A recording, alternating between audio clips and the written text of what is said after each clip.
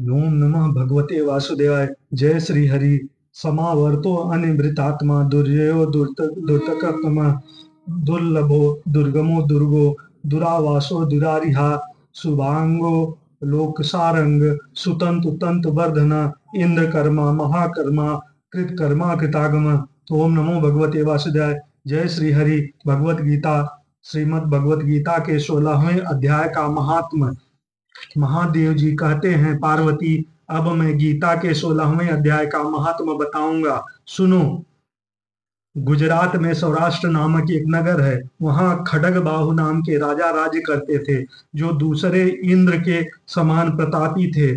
उनके एक हाथी था, जो मद बहाया करता और सदा मद से उन्मत्त रहता था। उस हाथी का नाम अरिमर्दन था। एक दिन रात में वह हठात साकलों और लोहे के खंभों को तोड़ फोड़ कर बाहर निकला। हाथीवान उसके दोनों ओर अंकुश लेकर डरा रहे थे, किंतु क्रोधावश उन सबकी अवहेलना अवहेलना करके उसने अपने रहने के स्थान हथिसार को ढा दिया। उस पर चारों ओर से भालों की मार पड़ रही थी, फिर भी हाथीवान ही डरे हुए थे। हाथी को तनिक भी भय नहीं हो रहा था। इस कौतूहल पूर्ण घटना को सुनकर राजा एवं हाथी को मानने की कला में निपुण राजकुमारों के साथ वहाँ आए। आकर उन्होंने उस बलवान दंतेल, दंतेले हाथी को देखा। नगर के निवासी अन्य काम धंधों की चिंता छोड़ अपने बालकों को भय से बचाते हुए बहुत दूर खड़े होकर उस महाभयंकर गजराज को देखते रहे। इस इसी समय कोई ब्राह्मण तालाब से नहाकर उसी मार्ग से लौटे, वे गीता के सोलहवें अध्याय का अभय, अभयम आदि कुछ श्लोकों का जप कर रहे थे। पूर्ववासियों और पीलवानों, महावतों ने उन्हें बहुत मना किया, किंतु उन्होंने किसी के न मानी। उन्होंने हाथी से भय नहीं था, इसलिए वे विचलित नहीं हुए। उस उधर हाथी अपने फूतकार से चारों दिशाओं को व्याप्त करता हुआ लोगों को कुचल रहा था। वे ब्राह्मण उसके बहते हुए मद को हाथ से छूकर कुशल पूर्वक निर्भयता से निकल गए। इससे वहाँ राजा तथा देखने वाले पूर्वासियों के मन में इतना विस्मय हुआ कि उसका वर्णन नहीं हो सकता। राजा के कमल नेत्र चकित हो उठे उठे थे। उन्होंने ब्राह्मण को बुलाकर सवारी से उतार कर उन्हें प्रणाम किया और पूछा, ब्राह्मण आज आपने यह महान अलौकिक कार्य किया है, क्योंकि इस कार्य के समान भयंकर गजराज के सामने से आप सकुशल लौट आए हैं। प्रभु, आप किस देवता का पूजन करते तथा किस मंत्र का जप करते हैं? बताइए, आपने कौन सी सिद्धि प्राप्त की है?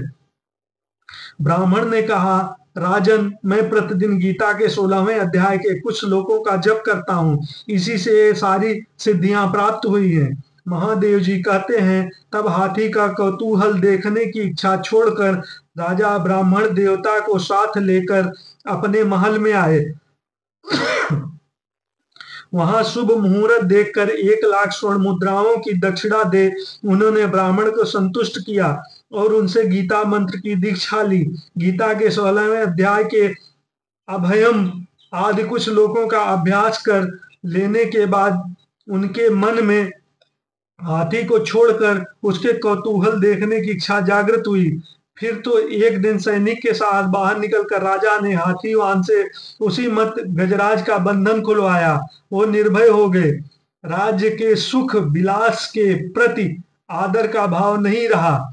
वे अपना जीवन दृढ़वत समझकर हाथी के सामने चले गए। साहसी मनुष्यों में भी अग्रगण राजा खड़ग बाहु मंत्र पर विश्वास करके हाथी के समीप आए। और मद की अनवरत धारा बहते हुए उसके गंड स्थल को हाथ से छूकर सकुशल लौट आए। काल के मुख से, धार्मिक और खल के मुख से साधु पुरुष की भांति राजा उस गजराज के मुख से बचकर निकल आए। नगर में आने पर उन्होंने अपने राजकुमार को राज पर अभी, अभिषिक्त कर दिया। तथा स्वयं गीता के सोलहवें अध्याय पाठ करके परम गति को प्राप्त की। श्री कृष्ण गोविंद हरे मुरारे, हे नाथ नारायण वासुदेव श्री कृष्ण गोविंद हरे मुरारे, हे नाथ नारायण वासुदेव। ओम नमो भगवते वासुदेवाय, ओम नमो भगवते वासुदेव नमो भगवते वासुदेव जय श्री राधे, जय श्री राधे कृष्णा।